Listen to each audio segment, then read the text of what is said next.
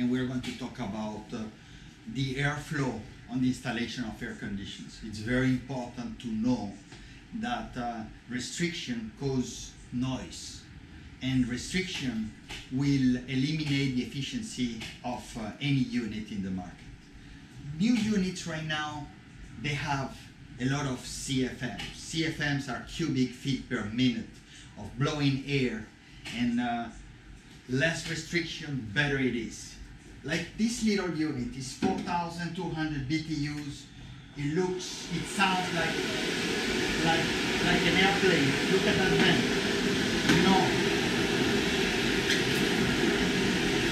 you, you will push that vent like crazy.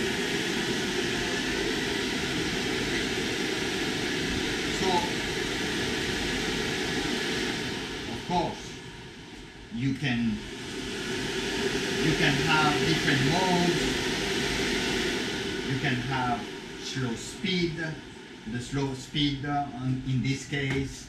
So it's it makes no noise, but you know there is enough uh, static pressure that is moving this vent all the way forward. So, but it's not making that much noise. Air is funny. Air, it's always like a, a ball of ping pong.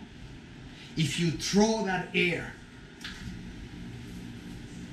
right on that wall, it's going to bounce back to you. If you throw that air in 45 degrees, it's going to bounce on 45 degrees and 90 degrees on the other side. So you never have to direct the air toward a wall in front of you because that ball is going to come back to you and is going to join the other balls and it's going to make a lot of noise plus it's going to kill the efficiency of that blower i can give you all the cfm I, I can give you all the static pressure. I'm an expert. I'm the one manufacturing those chill, those uh, blowers, and I did as much as I could for everybody to get an efficient unit. But I want them to work it out on the sense that nothing has to be a wall. Everything has to be has to go with the flow. Now I'm going to go on a board that is going to explain a little bit more the situation. You have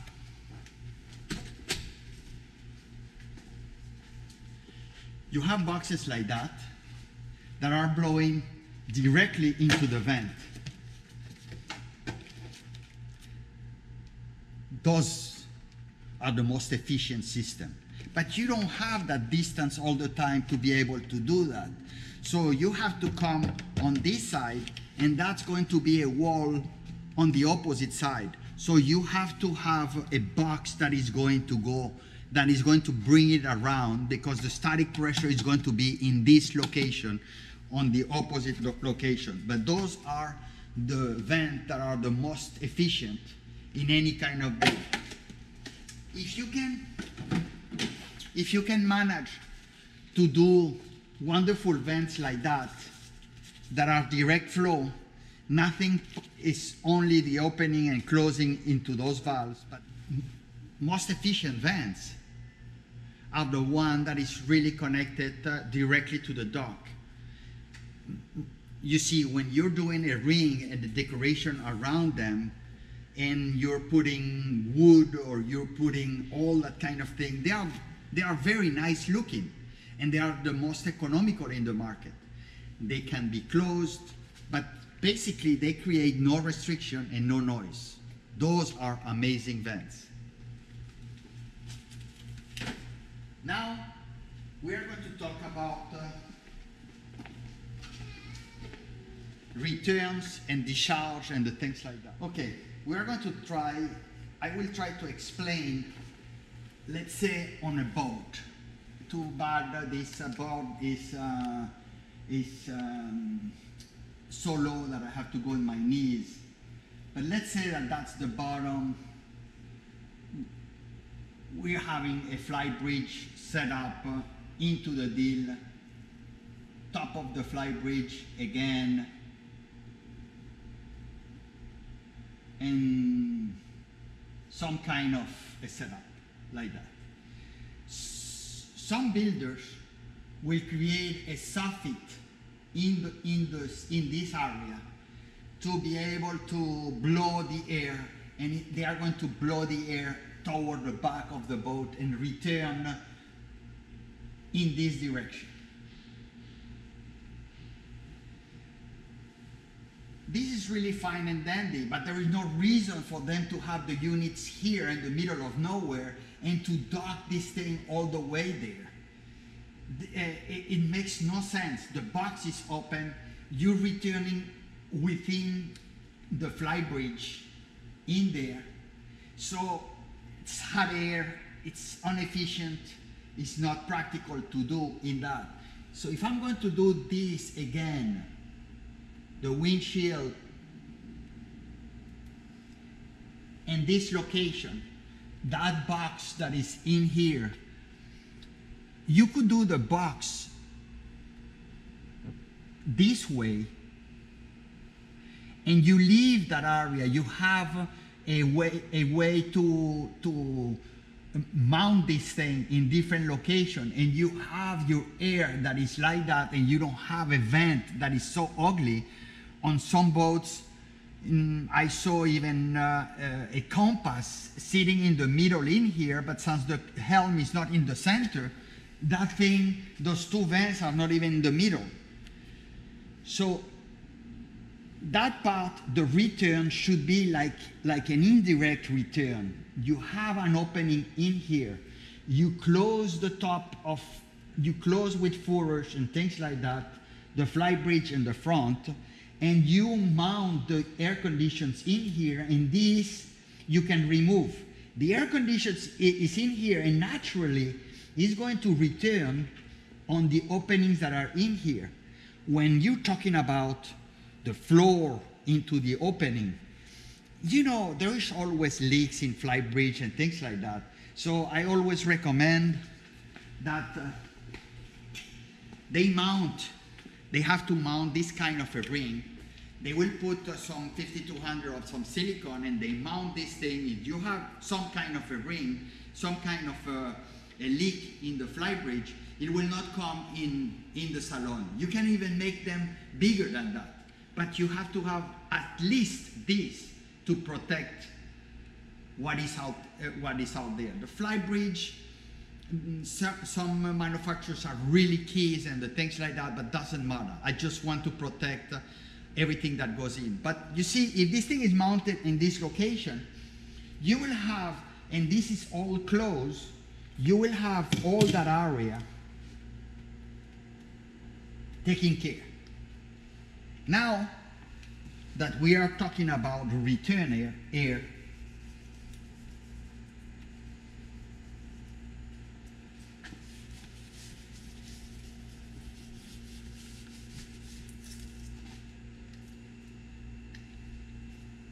here's my windshield. You can, the return air, you don't have to do it like that. You can also do it mounted in here and you can have an opening that is in the front and you have another baffle in there like that you don't see the thing and the air is coming in it's going down and it's going up through that thing. And it doesn't show. You don't need vents. Vents are not necessary. The the air condition got their own filters in there and you can clean the filter much easier than that by leaving an opening in there or, or having those uh, that wall removable. That's how the people are going to service the unit but you have an area in here that is completely enclosed and the air conditions are going to be there. If that soffit is there in other location that's the floor that's the whole thing enclosed. The unit will go somewhere in here in in the other location and we'll have the discharge that I was talking about later on. And you are going to have the duct going into that soffit that is on the side of the boat that went that is going all the way back and things like that but the soffit on the boat has to bring the air. So they will go like that, they will go with the duct, that's the duct, and they will stop right here and they will blow through that. On the inside side of the boat, it has to be, if you, if I cut this thing and I have the opening and I have that soffit that is like that, I need to have an opening like that. And I'm bringing the air out. When you're bringing the air out into, into this thing, first of all, you don't want to see the inside, so you have to have a second wall in there. But you cannot make the air go out when you have blockage. So everything has to come with, with an angle of, of taking them there, taking them there. So the air will flow out. Nothing has to be, no angles, no openings like that, and, and, and, and another opening flat in here, and the thing flat in there, because the air is going to go there, it's going to bounce back, and it's going to create noise, and it's not going to come out. You have to make it flow. Everything has to be flow. It has to be taken out. And that's the explanation that, that I have around, around uh, um, vents. One case that I had, for example, on a crew quarter. The crew quarter, the cabinet was here. The cabinet was here. Wonderful cabinet, opening on the bottom. And that was a closet. Beautiful closet. In the inside of that closet, they had two, two lengths like that that were going all the way to the bottom. They put the unit somewhere in here, facing back or facing front, whatever, however they wanted to do it. But they did that. They did a T, wonderful setup, and they went here, and they went there, and they went here, and they went there. That's in a crew cabin. That was the vent. They did an opening here, they did an opening here, and they did a wonderful unit. I believe it's like a 10,000 BTUs. The problem is they are they are thinking that that air is going to go there, is going to bounce back, and is going to continue playing that game, and little bit is going to go here, and he's going to go there, and he's going to bounce back, and then he's going to go out. We're not talking about water, we're talking about air. Air doesn't work that way. You have to have a buffer here that is going to take that air out, and it cannot have any any place because the, the static pressure is really on that location of, of the dot.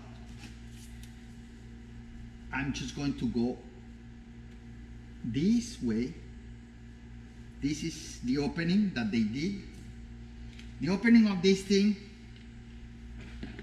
to make it clear, it has to be something you have to put in here to take it down. You cannot let it hit on that thing. Some, something needs to be done here the same way. Now we are in business. The air is going in here. Now you cannot let it go, it go that way on the trap. You're not dealing with water, you're dealing with air. Air is funny. So you go out there, you go out, and you have another piece of material. It's, it could be a piece of wood, it could be some door skin, it could be painted black, it could be nothing. But it has to make the air flow. Same for this side.